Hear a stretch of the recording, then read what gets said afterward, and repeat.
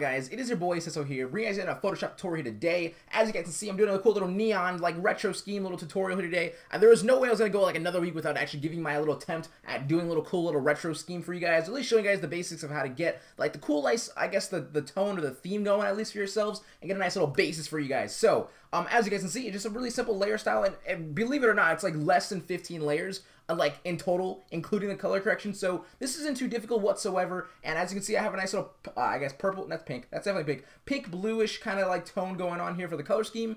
And uh, really, re realistically, this whole entire thing is just really about color schemes. Um, I'm just to really quickly see if this works.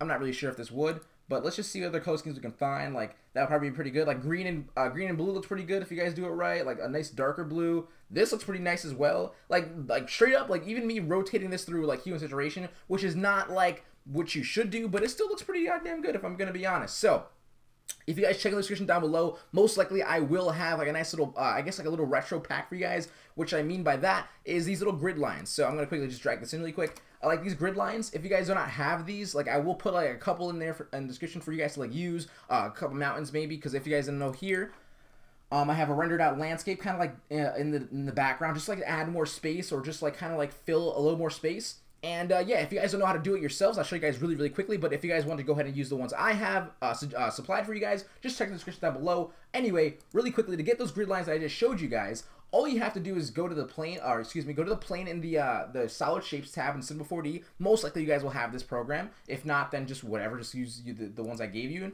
Um, plane is basically, I guess, your simple grid, right? I'm gonna make this a little bigger, and basically, like once you like kind of fix your orientation of how you want to get it rendered out, which is perfectly fine for me right here.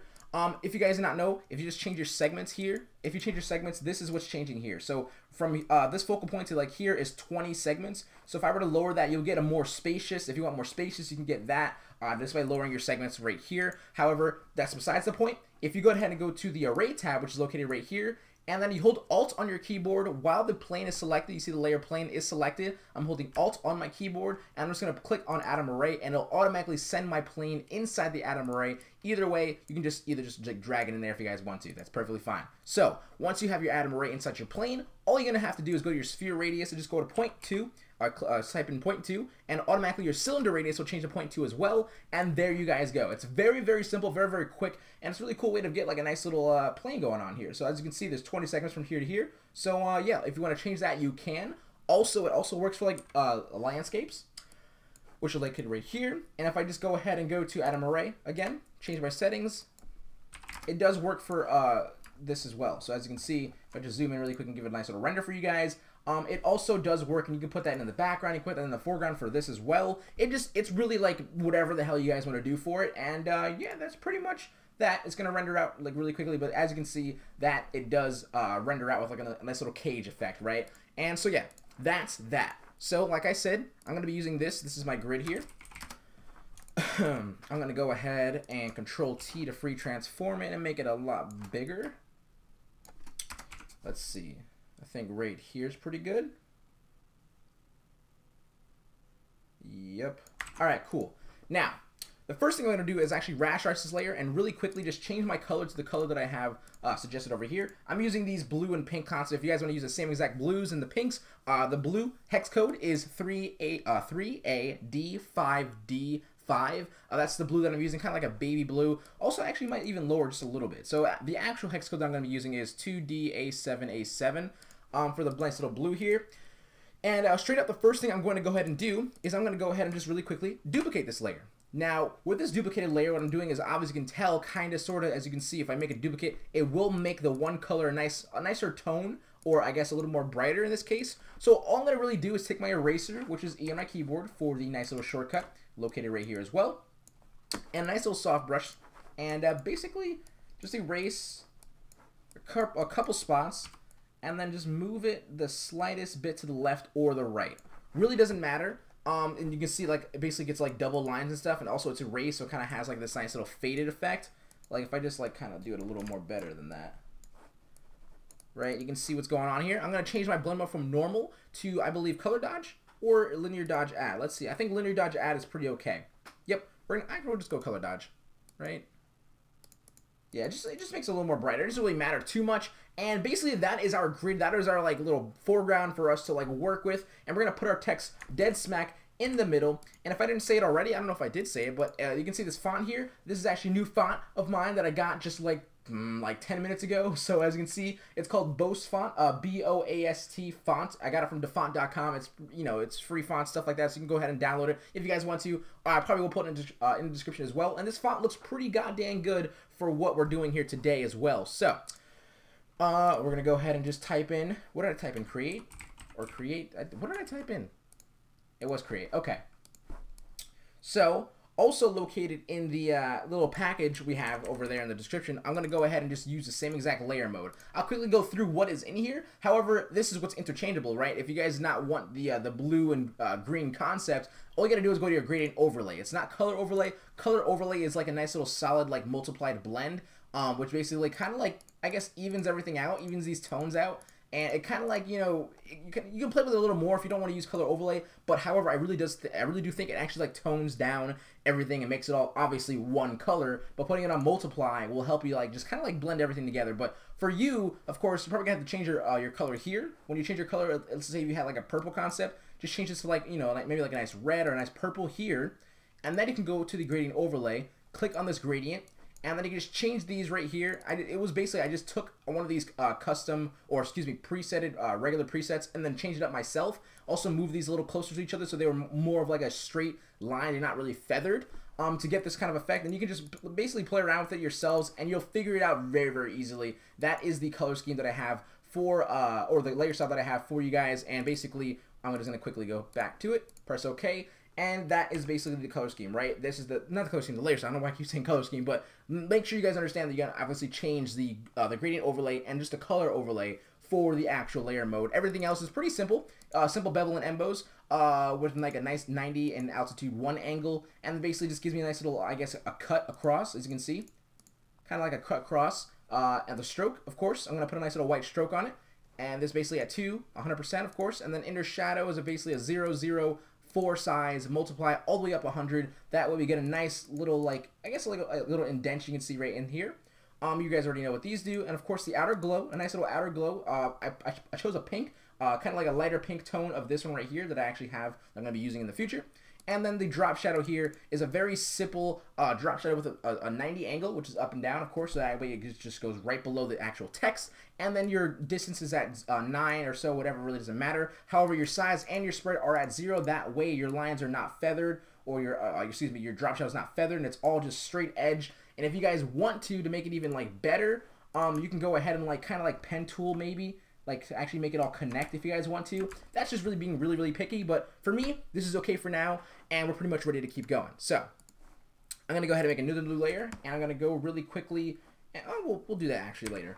Um, what I'm to do right now, actually, is I'm to go ahead and do the simple little top foreground, or excuse me, the background kind of a little bit. So, what I did was, I took a grid here, which is my grid lines here, and I'm to take this, pull this up here. Actually, we're to pull the one we erased up here right? We're going to pull the one we erased up here, and I just basically dragged and made a duplicate of it. So if you didn't see that, all I did was I went ahead and just press Alt, drag it up. While holding Alt, it makes a duplicate for me, as you can see right there. Or you can press Control J on your keyboard. And basically, what I'm going to do here is I'm going to take my rectangle marquee tool, right? I'm basically going to kind of like see where it starts off, this background, this first grid right here. That's what I'm trying to look at. And I'm going to make sure I cut off whatever, like I can see these lines right here. I don't want them. So I'm going to press Delete on my keyboard. It will get rid of them for me. And then basically what I'm going to do here is I'm just going to call this grid highlights so you guys can see what I'm talking about. And this is the top grid. And what we're going to do here is we're going to go to uh, filter, blur, motion blur, and motion blur to about maybe, actually 40 pixels is pretty good. 40 pixels, press OK. As you guys can see, it, it kind of like fills a little sp uh, space on the top side, which is pretty cool. Now, also really quickly, I'm going to go ahead and actually drag in, excuse me, this little landscape that I did which I told you guys you can, of course, either download or make yourself one if you guys want to. I showed you guys how to do that as well. I'm going to quickly rasterize this, and I'm also going to take my rec rec uh, rectangle marquee tool and delete that as well, where that falls on the grid line. And I'm just going to change my blend mode from uh, normal to divide, which is pretty cool. And there we go. Right there, we got nice little bases going on for ourselves. And as you can see, it kind of has this little outline, which is basically, uh, I guess, default when you actually render it out uh, in Cinema 4D yourselves. And pretty cool, right? Comes out really nicely. So now what we can do is we can just go ahead and do a simple, with this blue here, right? Hex code 3A uh, D5D5. Press OK. And with this blue here, I'm just going to click a couple times, maybe like here. Just like so. It's pretty sporadic, right? Just want to get some light in this banner design. And uh, right there is pretty looks pretty good right there. So I'm going to go ahead and change my blend mode to uh, color dodge or linear dodge add. Let's see, which one will look better? I think color dodge. I think I'm down with color dodge. All right, yep, that'll look pretty good. So now what I'm going to go ahead and do really quickly as well as we're going to do our first little set of really quick, simple color corrections. Now what I'm going to do is brightness and contrast, and pretty much these settings are going as followed. Negative 30 for the uh, brightness, and then 60 for your contrast. And then we're going to go ahead and head into our adjustment tabs again. Go to Vibrance, and we're going to go ahead and just head up, up uh, I think at like 60, and then 25 for our Vibrance. As you can see right now, we're starting to get that really nice like glow neon theme, which is basically exactly what I am looking for. So now, what to go ahead and do really quickly is I'm gonna do this. You guys probably know about this already. I'm just gonna basically select everything on my uh, my PSD, everything, all of it, uh, with by holding like basically clicking on the first layer, holding Shift, click on the last layer, including the background. Press Control J, that will make a duplicate for you guys, and then press Control E, that will merge it all for you guys to actually go ahead and do this now. If you guys were here like back in the day, okay, you already know what I'm freaking doing. So basically, what I'm gonna do is use the rectangle marquee tool and make these little skinny triangles, or not skinny triangles, rectangles and I really, I really have to do it on the, the top part, just but focus right here for a second, right? Put it like a lot right here, and make sure you kind of like get where these lines are intersecting, or I guess like you know these little cross paths. You want to get the cross path going on. So what you're gonna do is on this little layer that you have duplicated for you, like is, basically the this is the the actual design all in one layer, right? So what I'm gonna do is with these little rectangle marquee tool rectangles, I can press right click and gives me option to layer via cut, and that's what I'm gonna go ahead and do layer via cut, and then basically this layer here can just be deleted. It's perfectly fine. So right now you're gonna see nothing different. It's like uh, what's there, it's it's there, but it's not actually there. So all you're gonna do really quickly is just basically take your arrow keys and move it like either top left, top bottom, whatever the hell you wanna move it, and you can see it gives this really cool little simple, like kind of like a glitchy kind of effect. And if you guys were, you know, around in the past and stuff like that, you guys already know about this, but this really works pretty well with this kind of style going on here. And I'm pretty happy and satisfied with how that actually looks. Now, I'm going to also now add a simple little pink color here. And now this kind of like makes the entire thing. And this is kind of like where you're almost pretty much done actually. I'm going to go ahead and click pretty aggressively in the middle section. And then maybe over here. And then I kind of want to put it even more up there. Actually, mm, yeah, I think that's okay. And then what I'm going to do is I'm going to change my blend mode from normal to color dodge add, or linear dodge add, excuse me. And pretty much you can see it's a more, even more freaking glow. And as you can see, it's not too hard what's going on here, right? So I did put this above my color correction, so I'm going to really quickly make a nice little adjustment color correction. So I'm going to go back into brightness and contrast here, and I'm going to change my color correction to 535 and it'll basically kind of give my pink now a nice, like I guess, a scheme to kind of like go with everything. That's what's going on here, and literally, you're pretty much done. Like this is basically what I actually have here. As you can see, it's a pretty fast layer. Now I had a little other stuff. What I mean by other stuff is I had a couple of uh, little like stocks for my 60k pack. So if you guys don't have this already, I'll most likely try to put this in the description as well. But I'm pretty sure you guys have this. Like there's no way you missed this upload. Uh, where is that stock at? Uh, hello? Where is it? That This would actually look pretty good as well on that, for that style. Oh, here it is. So I'm, I'm just to drag this in here. And what I did was, right, I took this layer, I duplicated it twice, so I made a nice little double duplicate. And I'm to go ahead and make sure I put this below my text. And I'm also to press Control U, which brings up a uh, the hue and saturation quick adjustments. So it's basically doing this, right? This is the layer here. It's basically going to image adjustments and then going to hue and saturation is basically what I did, but control U is the quick little shortcut for it. I'm gonna click the word colorize. This is what I'm gonna do. I'm gonna lower my brightness, or my lightness, excuse me, down. As you can see, it actually just basically takes a nice little color going on here. This actually looks pretty good as pink. I had it as blue the last time, but I think I'm gonna keep it as pink this time. So as you can see, I give myself a little color, and I was gonna take my rectangle marquee tool, and I just deleted it a couple times, just to kind of give it like a nice little streak. Um, right? Oops, don't want to delete like the entire thing. I have to make a skinnier rectangle here. But yeah, that's pretty much what I did for this. And it, it came out pretty good, as you guys saw in the actual example. Um, that looks pretty good. I'm pretty happy and satisfied with that. Really quickly, however, I'm also going to add another, I guess, a nice little blue again. Just to try to get some more color in here. Let's add this above everything so there's no weirdness. Uh, let's see. Maybe like a couple hits around and like change the color mode or blend mode, excuse me, to like color dodge, linear dodge. If we do color dodge, we can also press Control U and kind of like flip through the colors over here to see what other colors we can we can like use. Um, that dark blue looks pretty good. I'm pretty satisfied with that. So pretty much that, there you go. Like it's, uh, I told you it's gonna be like really like what is this like like 15 layers technically whatever not gonna count but yeah as you guys can see this is pretty much the base of creating a little neon little retro kind of fun little theme going on here. Now also like you can do like I guess like the the neon sign kind of thing going on and if you like find a really good font for it I'm just gonna go ahead and just I'm just gonna write the word glow really quick.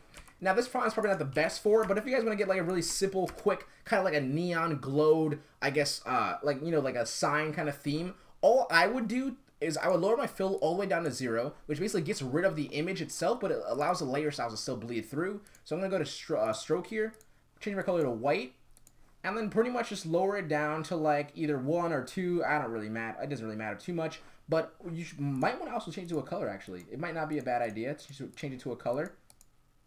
And then pretty much shrink it down. Right?